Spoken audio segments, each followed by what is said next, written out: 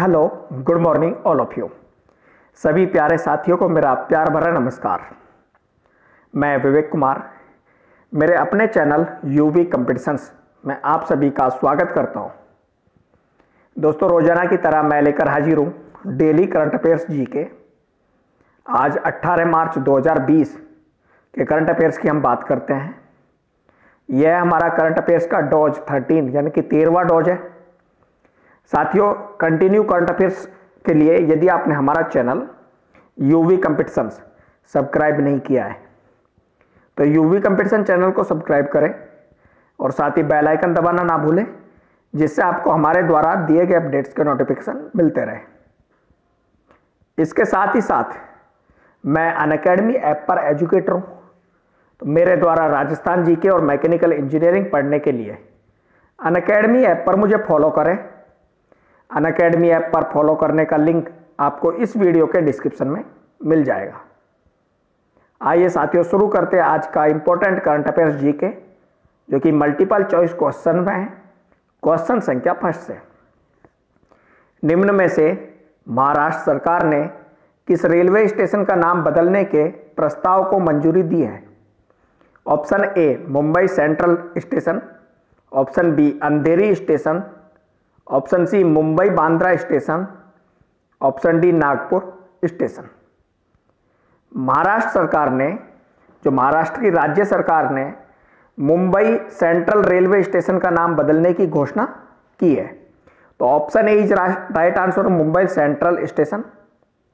साथियों, Mumbai central station का नाम बदलकर शंकर सेठ मुंबई सेंट्रल रेलवे स्टेशन रखा जाएगा। इसके रखने को प्रस्ताव को महाराष्ट्र सरकार ने मंजूरी दे दी है।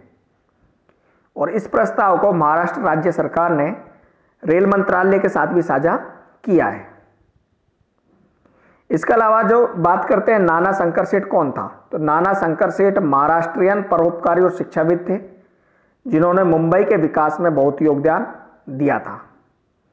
वो एक पहले भारतीय थे, जिन्हें बॉम्बे की तत्कालीन विधान परिषद के लिए नामित किया गया था। नेक्स्ट क्वेश्चन संख्या दो। भारत सरकार ने कोविड 19 कोरोना वायरस के लिए कितने मिलियन डॉलर आपातकालीन निधि जारी की है? इमरजेंसी फंड जारी किया है कोरोना वायरस के लिए। ऑप्शन ए पाँच मिलियन। ऑप्शन बी दस मिलियन डॉलर। ऑप्शन सी पंद्रह मिलियन डॉलर। ऑप्शन डी बीस मिलियन डॉलर।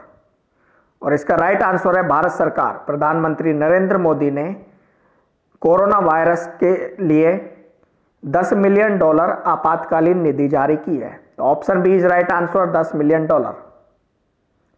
Bharat ने दक्षिण एशियाई क्षेत्रीय सहयोग संगठन, सार्क देशों के लिए डॉक्टरों और विशेषज्ञों की एक त्वरित प्रतिक्रिया टीम को भी एक साथ रखने की योजना बनाई है।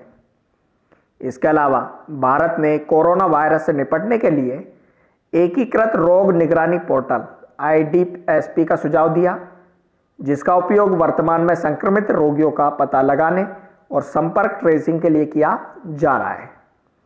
दोस्तों डब्ल्यू वर्ल्ड हेल्थ ऑर्गेनाइजेशन ने कोरोना वायरस को महामारी घोषित किया है। महामारी एक ऐसी बीमारी होती है जिसका किसी देश के पास कोई इलाज नहीं होता है। नेक्स्ट, क्वेश्चन संख्या तीन। किस इंश्योरेंस कंपनी के साथ भारतीय ई कॉमर्स कंपनी फ्लिपकार्ट ने अपने ग्राहकों के लिए व्यापक बीमा समाधान? कंप्रहेंसिव इंश्योरेंस सॉल्यूशंस बेचने के लिए करार किया है। Option A, Max life insurance.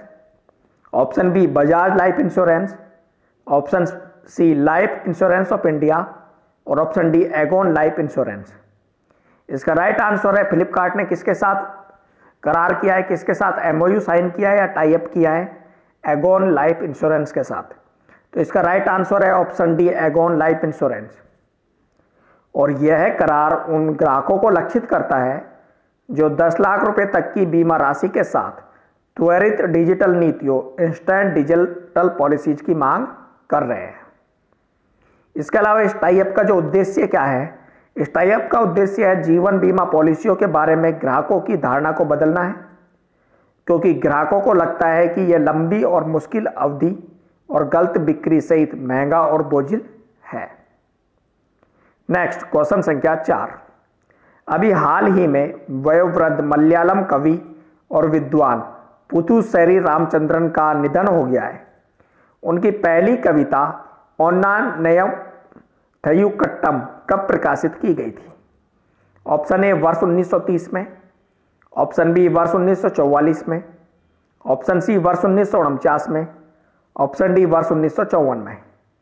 तो इसका राइट आंसर है वर्ष 1944 में। Option B is right answer वर्ष उन्नीस जो रामचंद्रन है, उनकी काव्य रचनाएँ केरल के प्रारंभिक इतिहास के साथ साथ प्रारंभिक और मध्य युगीन मलयालम भाषा के गहन अध्ययन पर केंद्रित थी।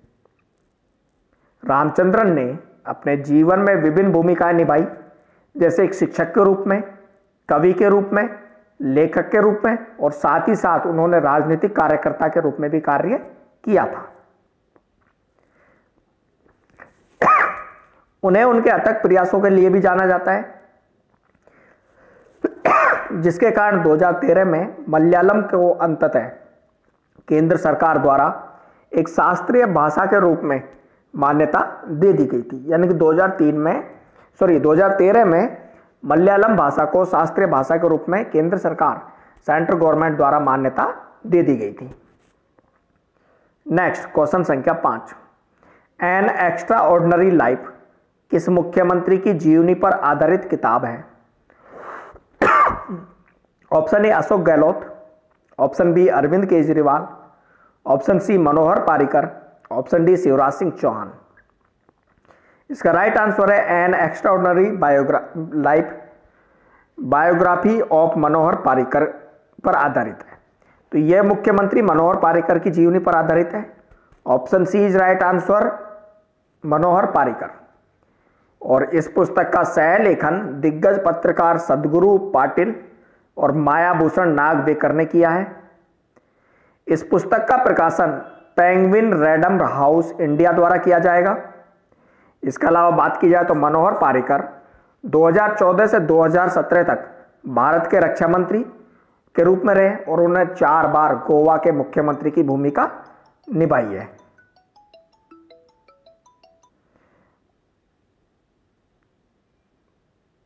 नेक्स्ट क्वेश्चन संख्या छह। चमेली देवी जैन पुरस्कार किस क्षेत्र में उत्कृष्ट कार्य करने वाले लोगों को प्रदान किया जाता है? ऑप्शन ए, पत्रकारिता, ऑप्शन बी, समाज सेवा, ऑप्शन सी, शिक्षा, ऑप्शन डी, राजनीतिक। इसका राइट आंसर है ऑप्शन ए, पत्रकारिता के क्षेत्र में चमेली देवी जैन पुरस्कार प्रदान किए जाते हैं। और चमेली देवी जैन एक महान स्वतंत्रता सेनानी और सामुदायिक या समाज सुधारक थी। चमेली देवी जैन पुरस्कार एक वार्षिक पुरस्कार है, जिसे उन्नीस सौ इक्यासी से पत्रकारिता के क्षेत्र में उत्कृष्ट प्रदर्शन करने वालों के लिए प्रस्तुत किया जा रहा है। तो इसका राइट आंसर है ऑप्शन ए पत्रकारिता के क्षेत्र में चमेली जैन, देवी जैन पुरस्कार दिए जाते हैं। इस वर्ष, जो वर्ष 2020 में, द वायर की पत्रकार आरफा खानम, शेरवानी और रोहिणी मोहन नामक एक स्वतंत्र पत्रकार को इस पुरस्कार के लिए चुना गया है। आरफा जो है, उनको कश्मीर और उत्तर प्रदेश से रिपोर्टिंग के लिए पुरस्कार चुना गया है। जबकि रोहानी को असम में एनआरसी पर खोजी कवरेज के लिए सम्मानित किया गया है। नेक्स्ट क्वेश्चन संख्या सात। निम्नलिखित में से कौन सा देश सभी वित्तीय बाजारों को निलंबित करने वाला दुनिया का पहला देश बन गया है? Option A Bharat. Option B Japan. Option C Philippines option D Australia और इसका राइट आंसर है ऑप्शन सी फिलीपींस जो यह है वित्तीय बंद की पुष्टि फिलीपीन स्टॉक एक्सचेंज और फिलीपींस के बैंकर्स एसोसिएशन के बयानों से की गई है. फिलीपीन स्टॉक एक्सचेंज को 17 मार्च को अनिश्चित काल के लिए बंद कर दिया गया, जबकि मुद्रा और बांड व्यापार निलंबित कर दिया गया था. वित्तीय जो बाज़ार है उनको निलंबित करने का निर्णय कोरोना वायरस महामारी के चलते लिया गया है. था, जबकि वहाँ के बैंक कह रहे हैं कि यह जो निर्णय है, यह व्यापारियों के कारण लिया गया है। नेक्स्ट क्वेश्चन संख्या आठ। निम्न में से कौन सी पैरामिलिट्री बल आदित्य मेहता फाउंडेशन के साथ मिलकर साइबर ऑपरेशन, आर्टिफिशियल इंटेलिजेंस और पैरा स्पोर्ट्स सहित विभिन्न कौशलों में अपने अंगों को खोने वाले अपने सैनिकों को प्रशिक्षित करेगा? Option A BSF border security force option B CISF central industrial security force option C CRPF central reserve police force option D ITBP Indo Tibet battalion force दोस्तों पैरामिलिट्री फोर्स में जो लोग साइबर ऑपरेशन, आर्टिफिशियल इंटेलिजेंस और para sports में घायल हो जाते हैं या अपने अंग खो देते हैं। उनको प्रशिक्षित करने के लिए आदित्य मेहता फाउंडेशन के साथ करार किया गया, समझौता किया गया है। और यह समझौता किया है सीआरपीएफ ने, सेंट्रल रिज़र्व पुलिस फोर्स, केंद्रीय रिज़र्व पुलिस बल ने। केंद्रीय रिज़र्व पुलिस बल अपने जो सैनिक है उनको प्रशिक्षित करेगा एनजीओ आदित्य मेहता फाउंडेशन के साथ। तो इसका राइट आंसर है ऑप्शन सी सीआरपीएफ और इस समझौते का उद्देश्य ऐसे कर्मियों के लिए नए अवसर पैदा करना है, जो बल का अभिन्न अंग बने हुए हैं। नेक्स्ट क्वेश्चन संख्या नौ। अभी हाल ही में जाने माने बॉलीवुड अभिनेता इम्तियाज़ खान का निधन हो गया है। वह किस अभिनेता के भाई थे? Option A Amjad Khan. Option B Shahrukh Khan, option C Salman Khan, option D Aamir Khan. और इसका राइट आंसर है ऑप्शन ए अमजद खान के भाई थे इम्तिहाज, इम्तियाज़ खान। दोस्तों, अमजद खान वही सोले वाले गब्बर हैं, जिनसे सभी परिचित हैं। और इनके भाई इम्तियाज़ खान को यादों की बारात, धर्मात्मा, दयावान और नूरजहां जैसी फ़िल्मों में शानदार अभिनय करने के लिए जाना जाता था। इसके अलावा इम्तियाज़ खान एक अभिनेता होने के साथ निर्देशन से भी जुड़े थे, जिन्होंने हलचल, प्यारा दोस्त जैसी लोकप्रिय फ़िल्मों से जुड़े हुए थे। नेक्स्ट क्वेश्चन संख्या दस। विभिन्न सरकारी नौकरियों के लिए 2021 से लागू होने वाली नई भर्ती प्रणाली के संदर्भ में सीईटी का क्या मतलब है? A common entrance test B common eligibility test C common education test और option D compulsory eligibility test इसका राइट आंसर है सीईटी मतलब कॉमन एलिजिबिलिटी टेस्ट दोस्तों कॉमन एलिजिबिलिटी टेस्ट एक सामान्य पात्रता परीक्षा होगी, जो कि 2021 से आयोजित की जाएगी। यह कार्मिक, लोक, शिकायत और पेंशन मंत्री जितेंद्र सिंह ने स्पष्ट किया है कि रेलवे बैंक और केंद्र सरकार की नौकरियों के निचले स्तरों के आवेदकों के लिए 2021 से एक समान परीक्षा कॉमन एलिजिबिलिटी टेस्ट सीईटी आयोजित किया जाएगा। और केंद्र इस ऑनलाइन परीक्षा का संचालन करने के लिए एक स्वायत्त राष्ट्रीय भर्ती एजेंसी एनआरए की स्थापना करेगा।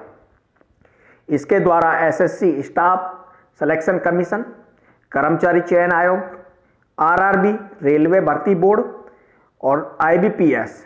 बैंकिंग वाली परीक्षाएँ आयोजित की जाने, की जाएँगी। उनको रिप्लेस किया जाएगा सीईटी के द्वारा। यानी कि पहले ये जो परीक्षा है एसएससी आरआरबी और आईबीपीएस करवाता है, जिन परीक्षाओं का भी हाल ही में वह परीक्षाएँ 2021 से सीईटी के अनुसार होंगी। कॉमन एलिजिबिलिटी टेस्ट के अनुसार होगी। तो साथियों, ये था आज का मुख्य समाचार, जो कि आपका करंट अफेयर्स है।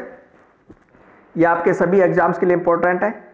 तो please like comment share and subscribe U V competition channel और साथ ही साथ हमें अन अकेडमी इंस्टाग्राम और फेसबुक पर भी फॉलो करना ना भूलें।